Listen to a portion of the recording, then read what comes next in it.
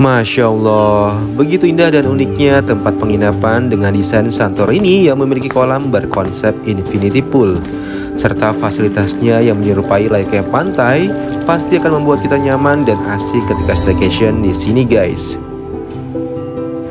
Keunikan yang dimilikinya belum tentu kalian bisa rasakan dan dapatkan di tempat lainnya. Jadi wajib banget untuk dicoba apalagi adanya private pool yang unik di area balkon kamar memberikan sensasi yang berbeda saat kalian sedang santai dan menikmati sang matahari terbenam dari surga Labuan Bajo bareng pasangan halal kalian.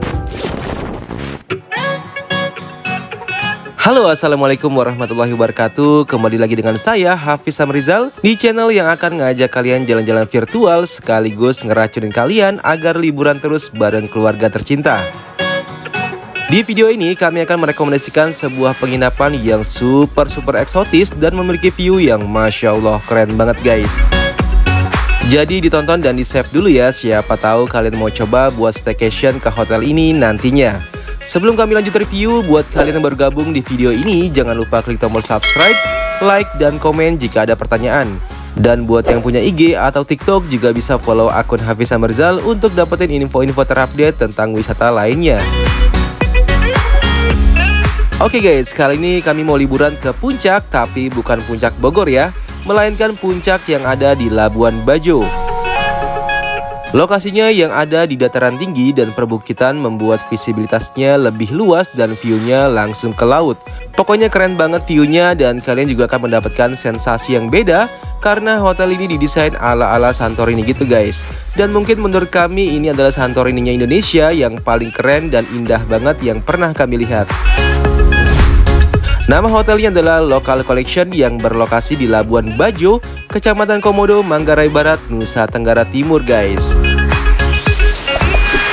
Buat ke sini dari Jakarta dibutuhkan waktu cuma 2 jam aja dan gak ada sama sekali drama macetnya. Itu pun kalau kita lewat jalur udara ya guys. Nah dari Bandara Komodo kalian bisa langsung naik taksi atau pakai jemputan dari hotel. Tapi ada biaya tambahannya sebesar 150.000 per mobilnya. Kalau kalian lama stay di Labuan Bajo, mending sih sewa mobil atau motor aja dan nanti bisa COD di bandaranya guys. Dari bandara ke hotel dibutuhkan waktu cuma 15 menit aja dan jalannya pun di Labuan Bajo tuh mulus, sepi dan lancar banget. Meskipun sepi, nggak usah takut, tingkat kriminalitas di sini sangat kecil bahkan hampir nggak ada. Jadi kalau kalian naruh kendaraan di pinggir jalan, insya Allah aman-aman aja ya guys. Alhamdulillah setelah perjalanan yang indah dan seru menggunakan sepeda motor Akhirnya kami sampai juga di hotelnya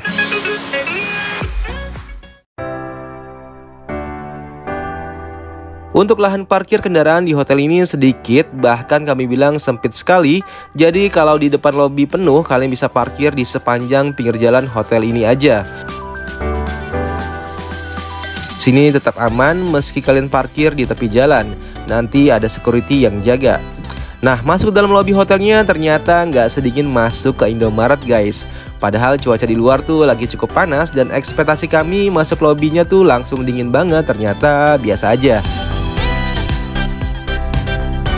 Tapi kami suka banget dengan desain interior lobinya yang terkesan unik dan mewah banyak ornamen-ornamen yang bikin ruang ini jadi lebih estetik dan nyaman. Sayangnya AC-nya kurang dingin. Untuk proses check-in cukup tunjukin KTP dan bukti pembayaran aja dan waktu check-in di hotel ini jam 2 siang. Kalau sudah, nanti kita akan diberikan kunci dan mendapatkan dua voucher welcome drink yang bisa ditukarkan di kafenya. Oke, sekarang langsung aja kita menuju kamarnya. Oh iya guys, karena akses ke kamarnya itu penuh lika-liku, jadi koper dan tas kami dibawakan oleh staffnya.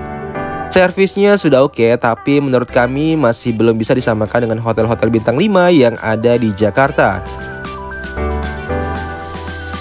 Ternyata setelah naik lift kita masih harus jalan kaki dan naik lagi ke atas lewat anak tangga. Kami sengaja minta kamar paling atas agar view-nya juga bagus ya guys. Oh iya, yang harus kalian tahu untuk tipe kamar di hotel ini banyak banget. Kami aja bingung pas pesennya karena di online travel agent itu kurang jelas gambarnya. Jadi kami pesan langsung via WhatsApp ke hotelnya biar nggak salah. Dan alhamdulillah pesan langsung ke hotelnya dapat harga yang lebih murah. Nah, akhirnya kami sampai juga di kamar yang kami pesan. Ini adalah tipe kamar Hemparai Suite Room. Kami pilih tipe kamar ini karena punya balkon, kolam pribadi, dan view-nya langsung ke laut guys. Jadi cuma ada dua tipe kamar yang menurut kami bagus di local collection, selebihnya biasa aja. Nanti kami tunjukin ya tipe yang lainnya. Harga tipe kamar ini per malamnya 4.325.000 itu sudah include breakfast untuk dua orang. Fasilitas kamarnya nggak terlalu luas, tapi menurut kami sih sangat unik dan estetik banget. Itulah kenapa kami pilih hotel ini dibandingkan hotel mewah lainnya yang ada di Labuan Bajo. Karena yang mewah itu banyak di Jakarta guys, tapi yang seunik ini belum tentu kalian temui di tempat lainnya. Untuk fasilitas kamarnya sudah lengkap dengan AC, terus ada tempat tidur ukuran king size, kemudian di depan tempat tidur ada TV dan minibar, yang sudah diberikan komplement berupa kopi, teh, gula, dan untuk pemanas airnya ada di belakang ya guys. Terus di sini juga disediakan snack dan soft drink, cuma harus bayar ya kalau kalian minum dan makan. Di bawah ada kulkas mini, jadi kalian bisa isi dengan minuman dingin yang kalian bawa sendiri. Oke, lanjut ke sebelah kanan. Di sini ada kursi rotan yang menambah kesan natural dan di sini juga ada speaker Bluetooth, stop kontak. Terus di pojok ini ada telepon dan buku tentang wisata sekitar yang ada di Labuan Bajo, serta buku menu kalau kalian mau pesan makan di restonya. Mungkin itu aja fasilitas kamarnya nggak terlalu banyak dan sekarang kita cek ke belakang dan kamar mandinya. Di sini ada lemari pakaian yang terbuat dari dinding dan menurut kami sih ini keren dan unik aja liatnya jadi kayak menyatu dengan konsep kamarnya. Ada brankas, pemanas air dan coffee maker tapi sayang banget di sini nggak ada coffee kapsulnya jadi percuma aja ada coffee maker di sini guys. Terus di atasnya ada dua buah handuk dan di bawahnya diberikan dua pasang slippers. Lanjut ke bagian kamar mandinya, untuk shower roomnya bagus dan bersih. Sudah lengkap fasilitasnya, ada rain shower, water heater, sabun, dan sampo. Nah, yang paling kami suka tuh kalau nginep di hotel berbintang, biasanya perlengkapan mandinya tuh berkualitas, mulai dari sabun dan sampo-nya yang wangi banget guys. Terus untuk area tengah ada dua wastafel dan dua cermin yang unik terbuat dari bahan kaleng Terus juga ada toiletrisnya berupa sikat dan pasta gigi. Nah, di sini ada dua bathrobe ya guys, jadi bisa kalian pakai ketika kalian ingin mandi di kolam depannya. Untuk harga 4 juta menurut kami sih terbilang sedikit komplement yang kami dapatkan. Nggak ada welcome meal atau apalah yang bikin mood tamu pas masuk ke sini langsung jadi happy guys. Oke, sekarang kita ke bagian balkon depan yang menjadi alasan kami pilih kamar ini guys. Di mana di balkon depan itu ada kolam pribadi yang gak besar dan dalam, cuma asik aja main air sambil melihat view yang Masya Allah panas banget guys. Nah, siang di sini tuh emang terik banget ya guys, tapi tenang aja, udaranya tetap segar tanpa polusi udara. Jadi nanti sore aja kami coba buat santai di area balkonnya. Terus di area balkon ini juga sudah diberikan kursi dan meja untuk menikmati pemandangan laut, tapi tetap aja kalau siang gini masih terlalu panas dan silau.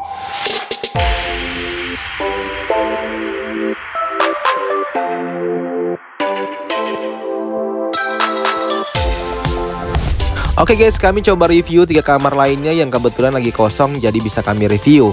Ini tipe cave room atau superior jadi di atas tipe standar roomnya ya. Untuk tipe standarnya nggak bisa direview karena lagi full. Tipe kamar ini harganya sekitar 2 jutaan dan harga bisa naik turun sesuai session.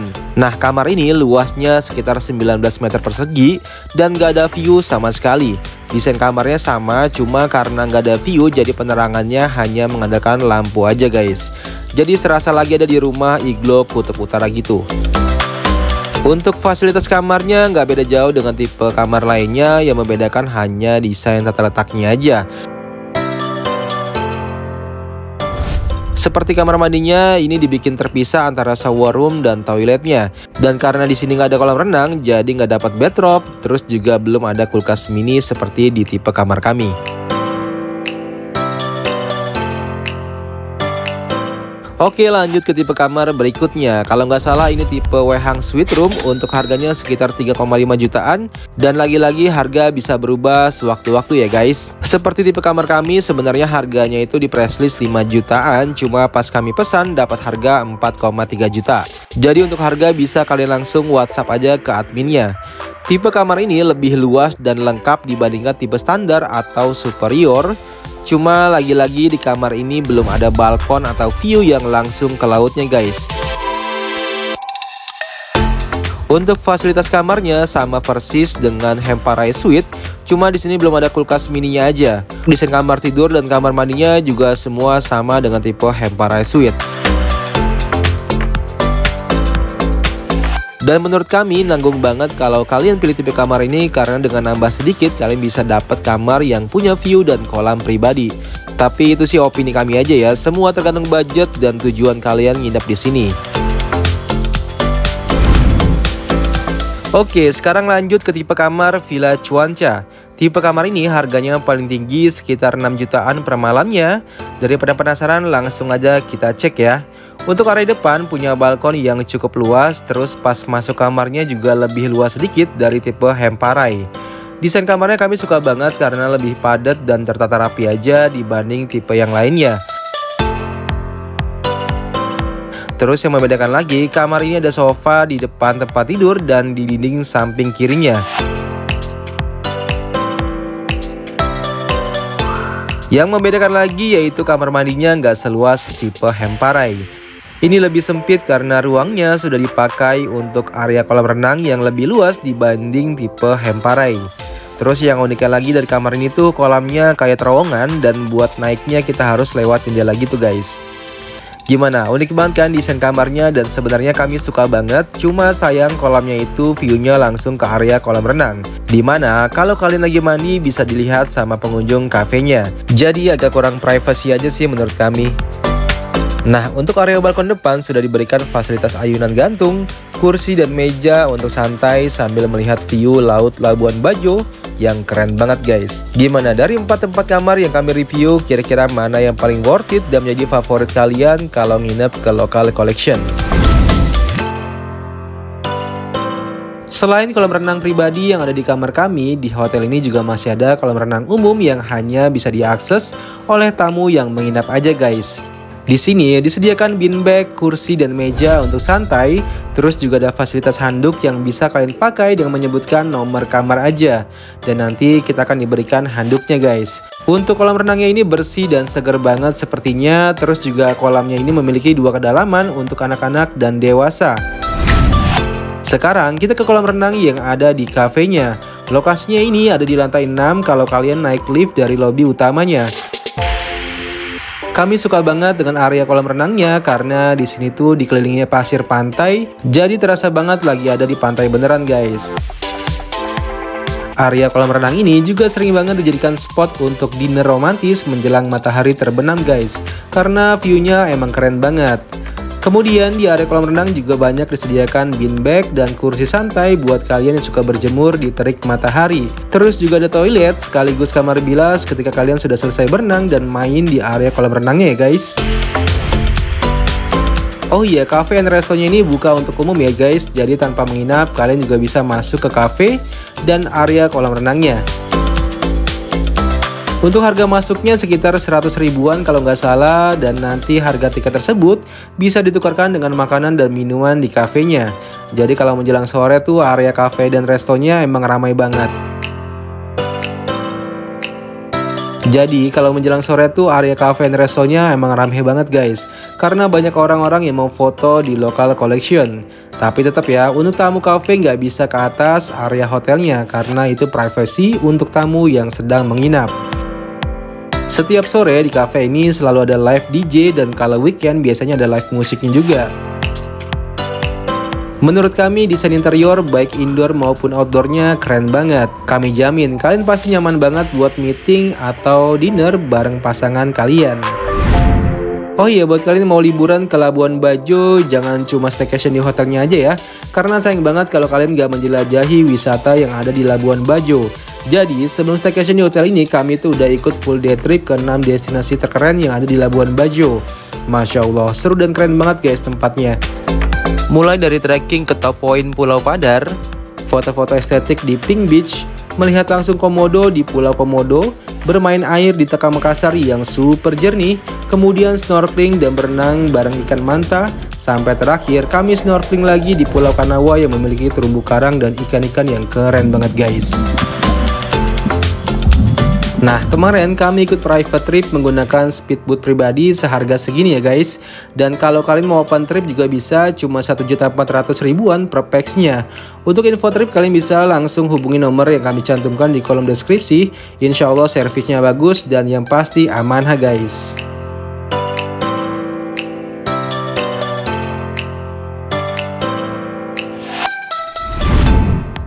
Nah, sekarang kita ke momen yang paling keren ketika kalian menginap di local collection guys, yaitu momen sunsetnya. Labuan Bajo memang terkenal sekali dengan sunsetnya yang luar biasa indahnya. Sebenarnya, menurut kami sunset di mana aja hampir sama. Cuma yang bikin beda di Labuan Bajo adalah banyaknya kapal-kapal berlayar dan deretan pulau-pulau kecil yang membuat lebih cantik view landscape-nya. Dan pemandangan seperti itu yang langka banget kita dapatkan guys. Begitupun dengan local collection yang memiliki bangunan unik dan estetik pasti akan menambah keindahan Labuan Bajo saat matahari terbenam. Masya Allah, benar-benar indah dan bagus banget menikmati sunset dari tipe kamar Hemparai Suite ini. Dan inilah yang bikin kenapa harga kamar ini lumayan tinggi guys. Karena kita bisa renang santai bareng pasangan sambil menikmati pemandangan yang sulit kami ungkapkan dengan kata-kata. Pokoknya luar biasa keren banget guys.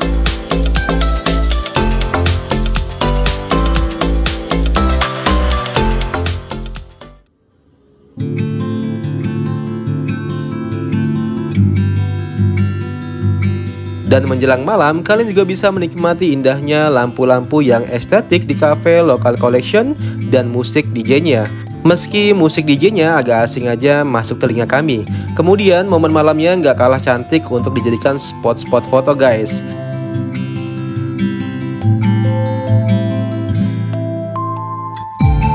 Kami sih lebih pilih berendam aja di kolam sambil menikmati indahnya Laut Labuan Bajo serta hamparan bintang dan bulan yang menerangi malam ini. Rasanya tuh nggak pengen cepet-cepet momen ini berlalu.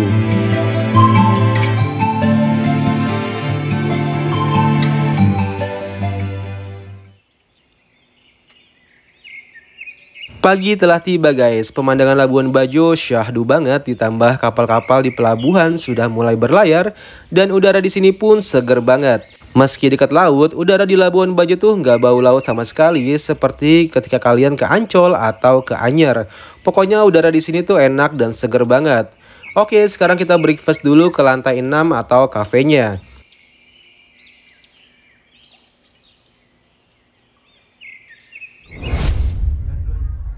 Sarapan di local collection baik weekday atau weekend sistemnya buffet ya Jadi puas deh buat kalian pecinta buffet Hotel ini emang gak pernah sepi padahal kami ini menginap di weekday tapi pengunjungnya tetap ramai banget untuk menu sarapan banyak pilihannya mulai dari menu Nusantara, Continental Breakfast, English Breakfast, dan American Breakfast. Dan menu Indonesia pastinya lebih banyak dan bervariasi ya. Jadi tinggal kalian pilih aja mana yang ingin kalian makan. Untuk tempat makan ada yang indoor, semi outdoor, dan outdoor. Kami pilih yang di outdoor aja biar berasa lagi makan di tepi pantai gitu.